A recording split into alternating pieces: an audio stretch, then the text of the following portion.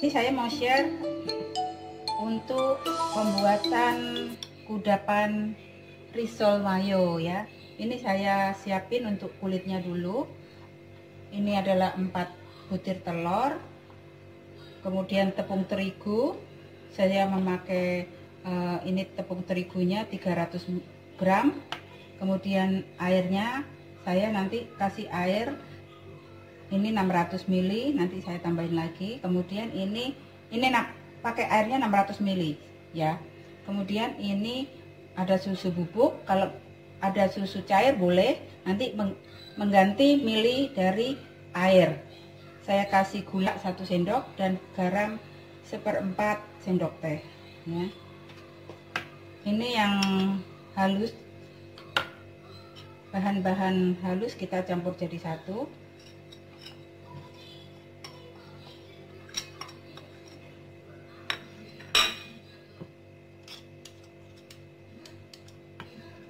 campur satu jadi satu ya. Kemudian ini telurnya kita kocok kocok lepas. Kalau mengocok telur boleh pakai garpu kalau punya kocokan kecil itu juga boleh. Nah, kocok lepas saja gini ya udah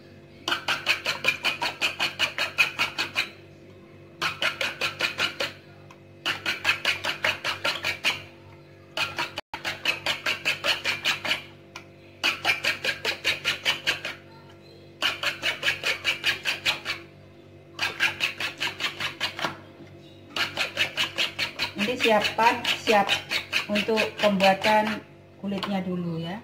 Kita masukkan ke dalam tepung terigu.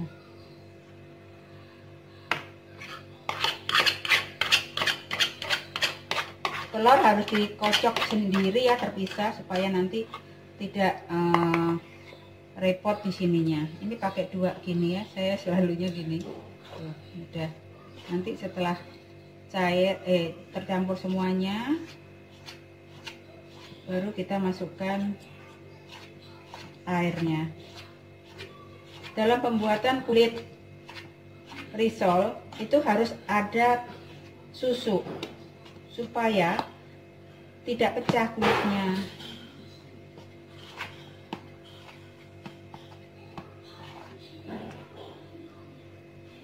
Ini kita masukkan airnya.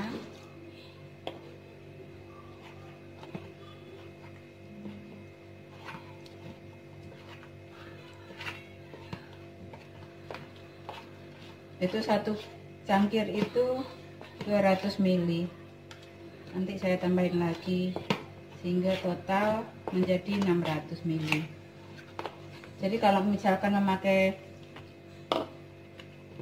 susu cair misalkan susu cairnya yang UHT itu 100 ml ya udah tinggal dikurangin aja.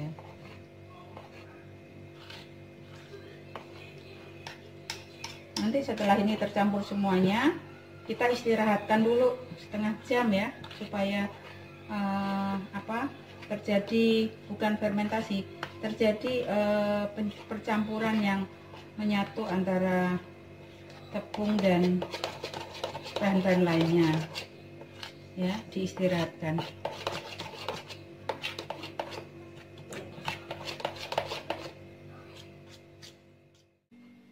Oke teman ini sudah diistirahatkan 30 menit. Sekarang kita mau buat kulit ya. Ini tadi sudah saya tambah uh, mentega cair satu sendok kita cairkan terus kita uh, campur di sini satu sendok sayur ya. Cukup. Ini.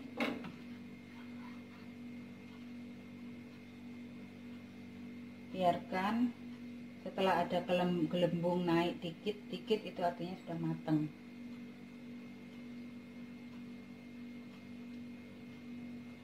Ini yang tadi sudah uh, matang ya. Jadi satu tumpuk tumpuk tumpuk terus. Nanti jadinya satu tumpuk nggak apa-apa.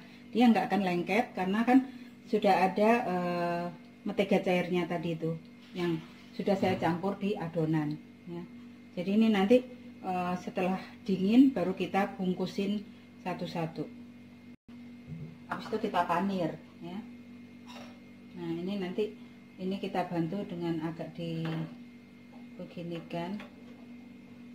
Ya kalau sudah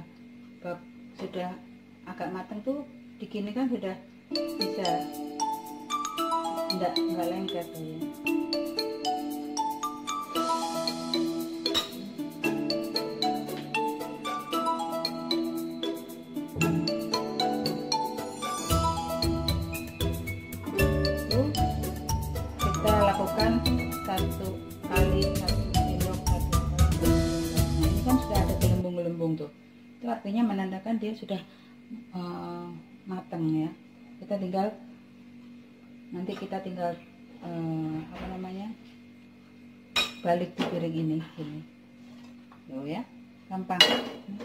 Ini kalau kurang rapi kita rapikan satu ini. Nggak apa-apa jadi ditumpuk-tumpuk terus uh, nanti setelah dingin kita pakai juga nggak akan lengket.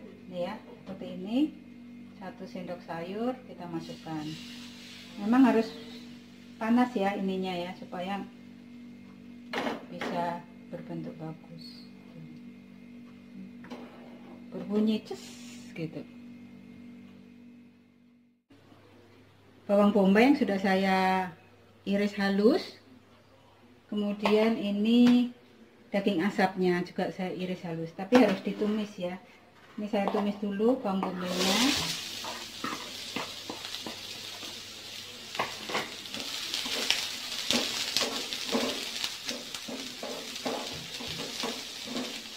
Kita tumis sampai harum layu.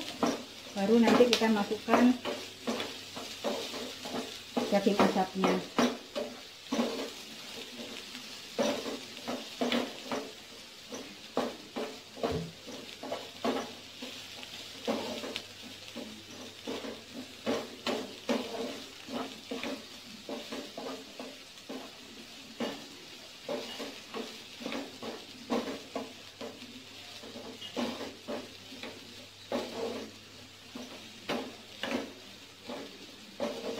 Kalau risol mayo itu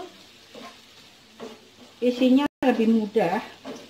Jadi tidak perlu ada sayur. Jadi hanya mayo, mayones, kemudian daging asap, keju. Nah, ini sampai layu.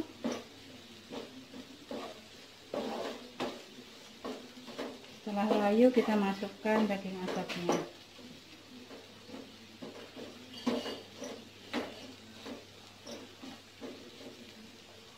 Ya kita masukkan daging asapnya. Kita tumis bentar aja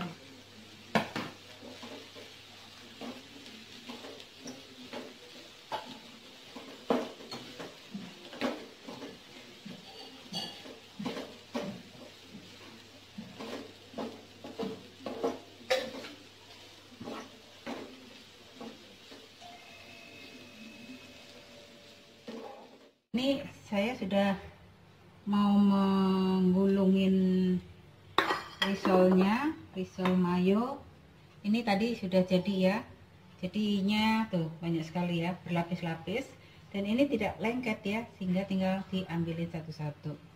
Ini saya mau gulung. Ini yang tadi sudah saya tumis ya. Ini kejunya saya parut nanti untuk dicampurkan ini saya aduk terigu ya terigu 2 2 sendok sama 3 sendok tepung crispy. Ini untuk pencelupnya kemudian nanti kita panir ya. Kita kasih air tuh. Keencerannya seperti ini cair sekali ya karena penggantinya telur. Hmm. ini nanti kita gulung satu persatu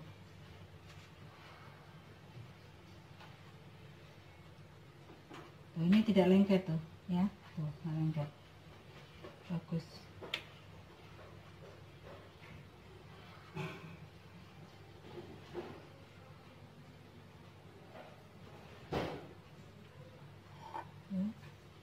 Kita kasih ini mayonesnya ini nanti pencelupnya ya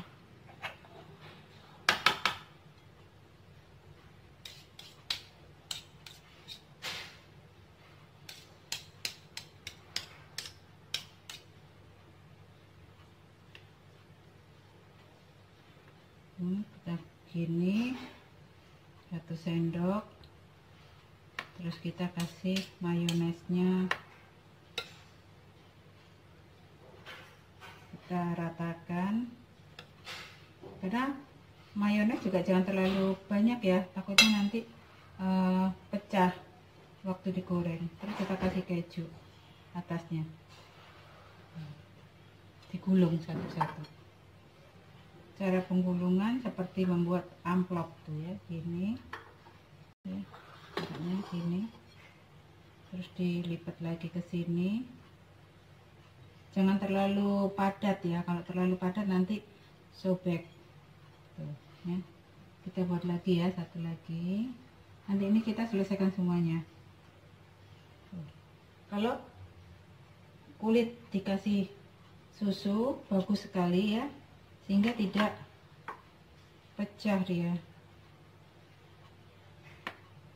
Kemudian kasih mayones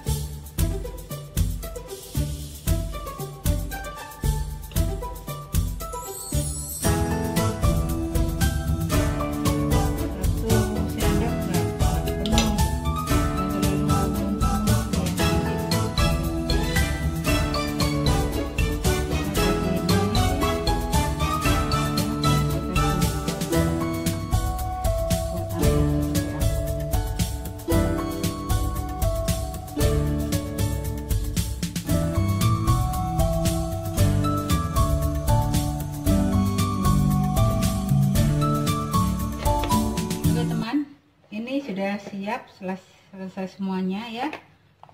Ini siap untuk dipanir. Kita ambil satu kita taruh di pencelupnya. Kemudian langsung kita taruh di tepung panir. Satu-satu. Karena memang harus satu-satu ya.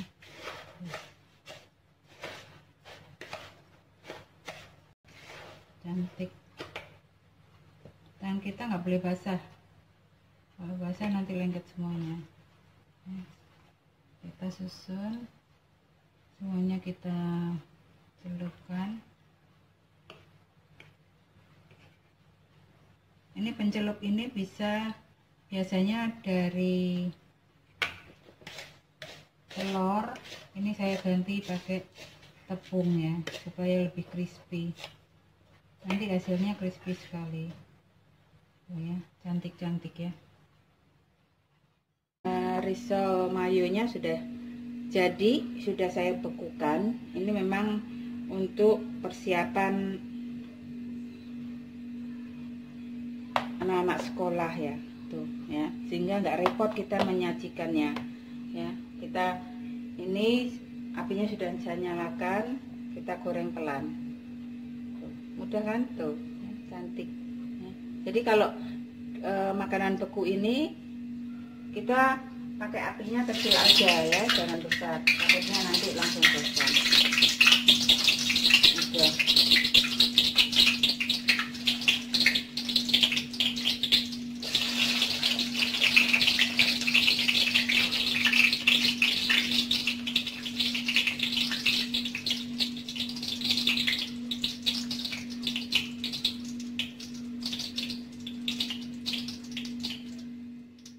Yeye, risol mayonya sudah jadi.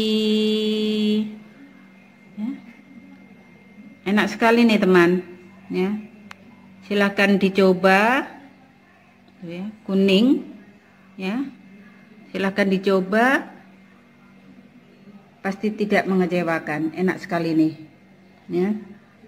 Silahkan ikutin terus channelku supaya nggak ketinggalan menu-menuku yang lain subscribe, like, dan share. Terima kasih.